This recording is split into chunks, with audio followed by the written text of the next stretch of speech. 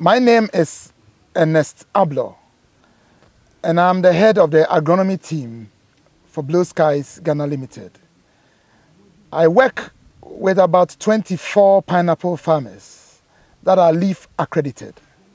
I want to talk to you about the good relationship that exists between the farmers and the team.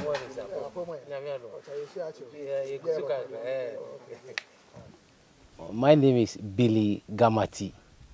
I'm a pineapple farmer. I'm supplying my pineapple to Blue Skies Ghana Limited.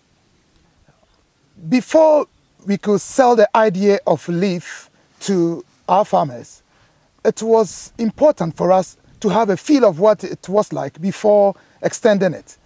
So we first established a LEAF Marque model farm and did all the trials on that farm to have a, a, really strong grip of it. It took us about a year and a half to really get on top of it. And after we were sure of what leaf really was, we then drew in the farmers and started telling them what leaf really was.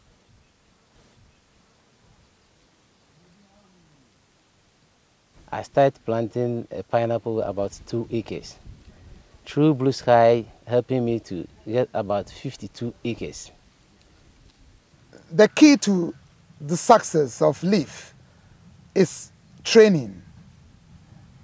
And with the trainings, we normally carry out four uh, workshops in a year for farmers. Apart from the workshops, we have a day-to-day -day extension work with our farmers, and that draws us very close to the farmers because we are every day on the fields with the farmers, see what they are doing, discuss problems, and find solutions to whatever problems they have on their fields. So with the extension work, it keeps us very close to our farmers every day. Leaf helped me to reduce my costs and to produce a quality fruit to blue skies and help me for my environment. We carry out on-field trials on these farms and we carry out the trials from the scratch to finishing. It gives the farmer the opportunity to have a good feel of what you want to impart to him because he's part of the process. It is not just a matter of coming to tell him this is what is the best way to do it. But it is he being part of the process of studying to know exactly what to do to let it work well.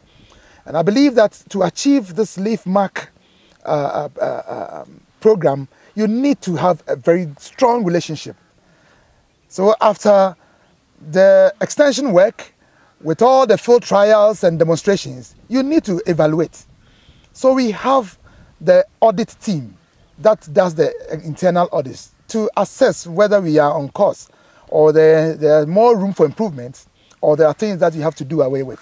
So I think uh, this is how we have developed this relationship over these years, which really focuses on trust, mutual respect, and also care for each other. So I think we, we work as a family, not just uh, a worker and an agronomy team, but we see ourselves as a united family.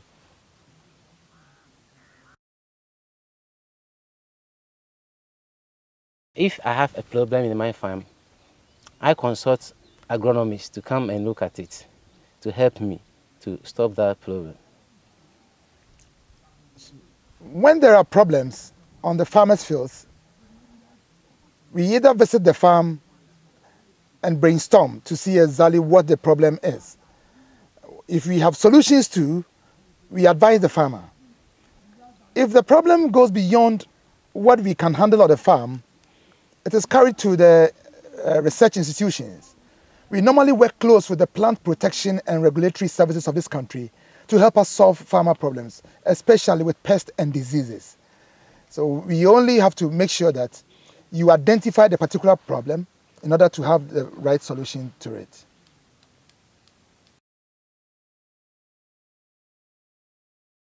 Our relationship for agronomists are very good. Blue Skies agronomist teams are very important to me. Without agronomist teams, I cannot farm a big farm like this one.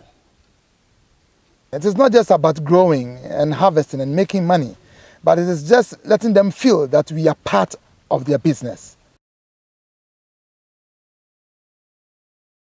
70% of the people living in this area are employed on the farms of these LEAF Marque farmers.